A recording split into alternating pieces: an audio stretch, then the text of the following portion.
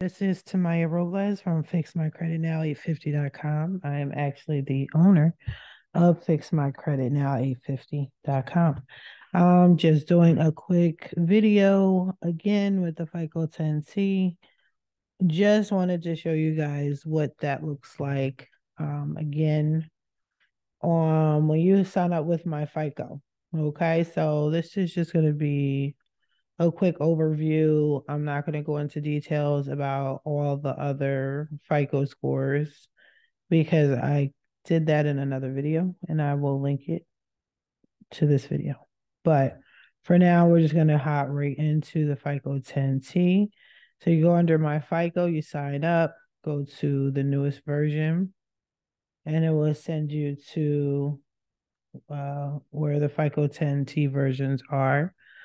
So here we have a FICO score 10, FICO score 10T, FICO auto score 10, and FICO bank card score 10. So this is the first one. We're going to look at it. So with what you see here is this person, this is my client, what her current score is under the FICO 10T. I'm sorry, FICO 10. So as you can see, Equifax, it's a 610. TransUnion, it's 608. 644 with Experian.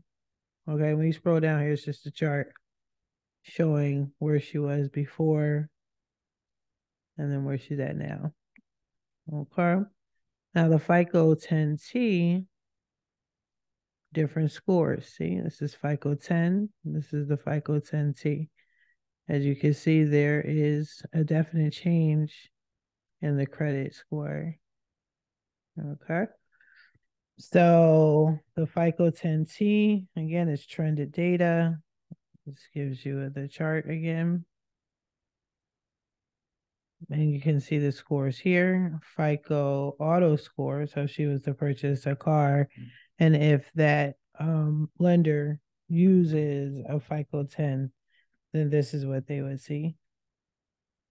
Okay.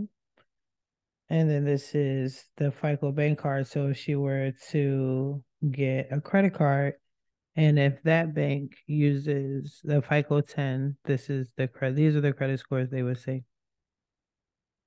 Right. So, like I stated in another video, what you might want to do to see why the score is this way, you can click on each one and it will show the score history and it will say basically what is hurting the score.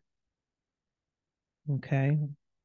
And if you don't understand what serious delinquencies are, you click on this arrow right here and it explains it to you in detail. If you don't know what high credit usage is, click on the arrow and explains it. Okay.